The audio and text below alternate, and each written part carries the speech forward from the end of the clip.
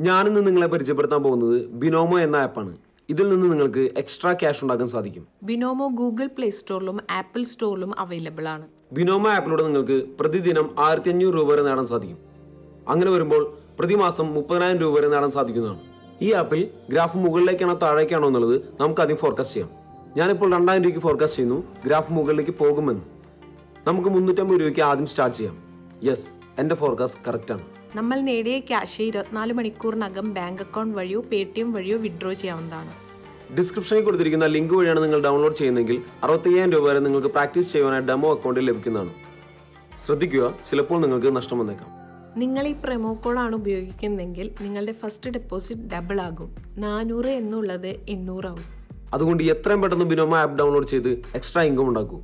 Link ഡിസ്ക്രിപ്ഷനിലുണ്ട്. ഇന്ത്യയിൽ രണ്ട് മില്യൺ ആളുകൾ ബിനോമോ ആപ്പ് ഉപയോഗിക്കുന്നു. നിങ്ങൾ അവരിൽ ഒരാളാണോ?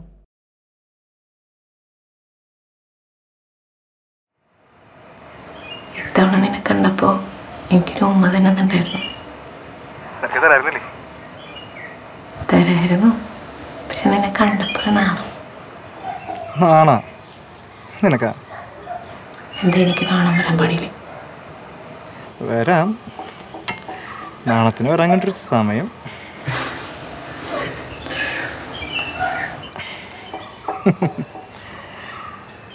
ഇപ്പൊ നാളെ വരണ്ടേ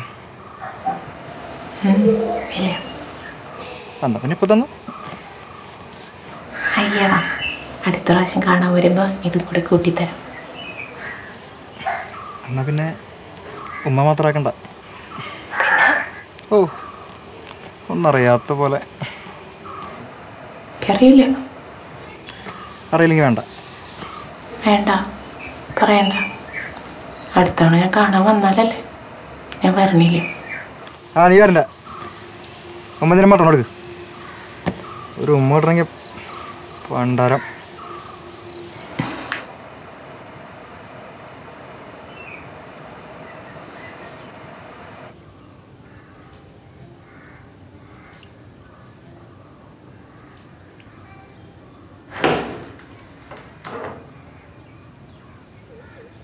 എനിക്കൊരു ഉമ്മ എനിക്കൊരു ഉമ്മ വരോന്ന്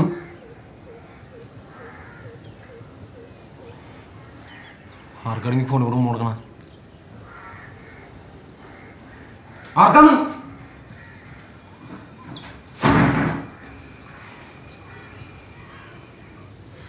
നീ പറഞ്ഞിട്ട് പോയാ മതി.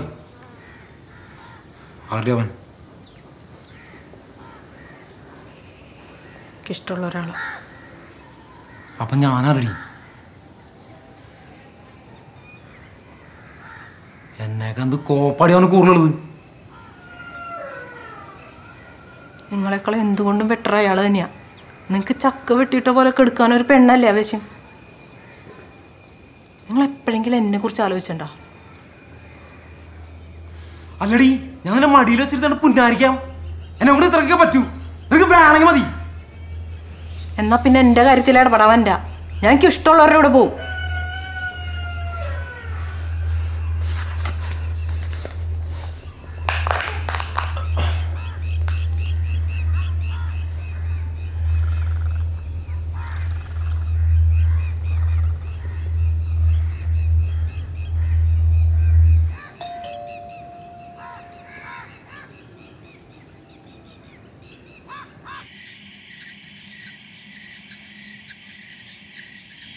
ഡാ ഈ ജീവിതം എന്ന് പറഞ്ഞതൊക്കെ ഒരു പരസ്പരം വിശ്വാസമാണ്.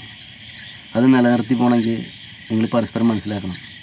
നിന്റെ ഭാര്യ നിന്നെ വിട്ടു പോകുന്ന പോകുന്നുണ്ടെങ്കിൽ അത് നിന്റെ കഴിവുറവ് തന്നെയാണ് ചേട്ടന്റെ ഉപദേശം കേൾക്കാനല്ല ഞാൻ വന്നത്. അവൻ ആരാണെന്ന് എനിക്കറിയണം. എന്റെ ജീവിതം നശിച്ചാലും കുഴപ്പമില്ല.